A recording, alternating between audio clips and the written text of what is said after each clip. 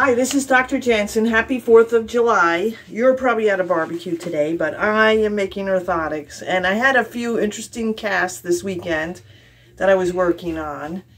And what was interesting about them was that the right foot was very different from the left.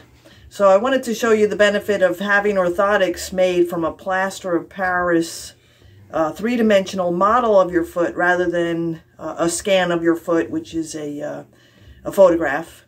A scan can be many photographs, but uh, like a movie, a lot of photographs um, are not really three-dimensional, just as a movie is not three-dimensional.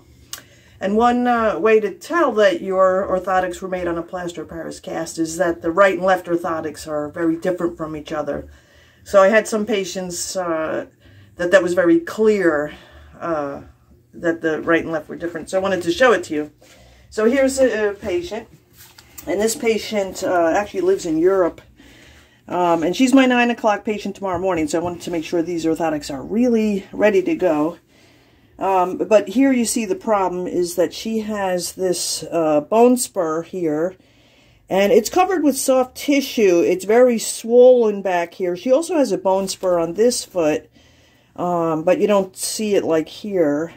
Now the good thing about making an orthotic for that, and here's the, um, you know, the way that I've built that like that. And it, what it'll, it'll do is take the pressure of the shoe away from that. You see? Uh, and you see how the two orthotics are very different left to right. You see what I mean? And then a, a, few months of keeping the pressure off of that, but walking normally so the blood supply is good to the area will shrink this. The soft tissue, the bursal sac will shrink.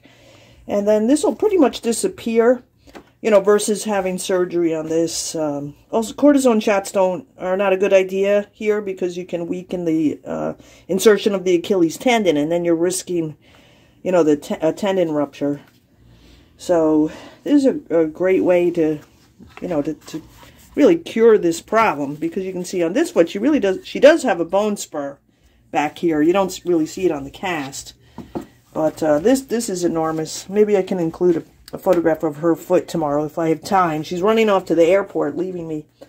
Um, so that was an example of uh, two feet that are different left to right. Okay, so hopefully you found that interesting, that, um, you know, how, uh, what a big benefit it is to have a plaster of Paris mold of the foot because it's very accurate and I can um, add plaster or take away with tiny little modifications of the cast, I can get a great deal of, um, you know, correction on the orthotic. So I get really good results with the orthotics this way.